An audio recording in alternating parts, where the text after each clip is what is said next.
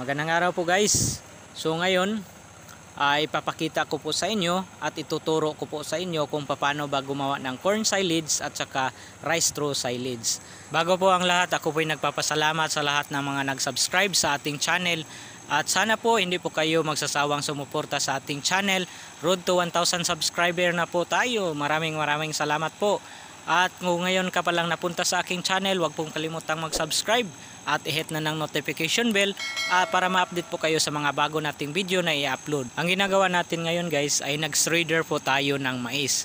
So maganda po ito guys pag mayroon po tayong shredder. Uh, napakadali lang pong gumawa ng silage kasi mayroon po tayong machine na magagamit. Pero pag wala naman tayong machine guys, pwede rin naman tatadarin na lang natin yung mais para makagawa po tayo ng silage.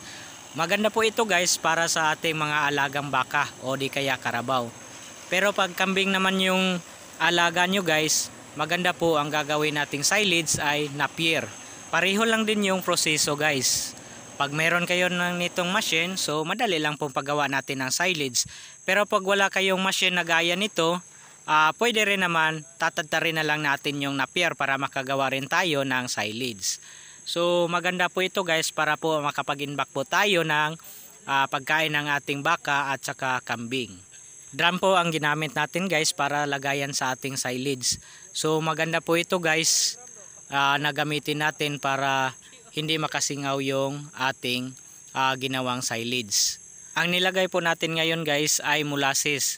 Uh, bale isang litrong molasses at saka tatlong litro na tubig at minimix po natin sa balde. At yun po ang uh, nilagay po natin sa ating mais. So ganun lang po yun guys ang proseso at saka lagyan na naman natin na ulit ng uh, mais at saka ipipress naman natin ulit. Napakagandang paraan po nito guys para makapag-inback po tayo ng pagkain ng ating baka at kambing. Lalo na pag tag-ulan guys, pag mayroon po tayong alagang kambing, napakahirap po kasi hindi po tayo pwedeng makapag-herding kasi basa yung mga damo. Kaya kinakailangan pa natin mag-cut and carry po tayo sa ating mga uh, damo o di kaya sa ating mga legumes para ipakain sa ating kambing. Pero pag mayroon po tayong naimbak na pagkain ng gaya nito guys, so hindi na kailangan po mag cut and carry pa po tayo sa ating mga damo at saka mga legumes. So napakagandang paraan po nito guys para hindi na po tayo masyado mahihirapan sa ating mga inalagaang kambing pag tag-ulan. Ayan po guys, nilagyan na naman natin ulit ng molasses.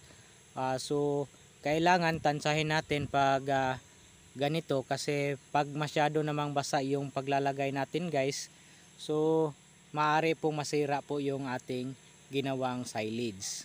So ganun lang po yun guys. Uh, lalagyan na naman natin ulit ng uh, mais at saka ipipress na naman natin ito ulit.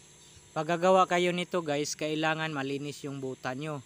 Hindi nakaapak ng tae ng baka o di kaya kambing kasi maari po yung maging dahilan para masira yung ginawa nating silage.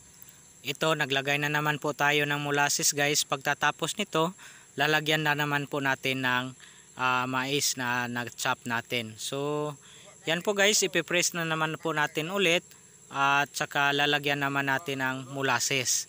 Pero last na po ito guys. Ang ibabaw nito ay hindi na po natin lalagyan ng molasses at saka natin tatakpan na natin ng mahigpit yung wala talagang uh, hangin na makapasok sa loob. Kasi pag nakapasok ang hangin doon sa loob guys ay maaari itong may sira ang ating ginawang silage. Kailangan talaga guys uh, mahigpit po yung pagkatali natin sa ating pantakip nito. Kasi maaari pong masira ang ating ginawang silage pag nakasingaw po ito.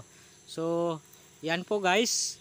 So ang ginamit nating pantakip nito ay trapal para matalian namin ng maayos at mahigpitan namin ng mabuti.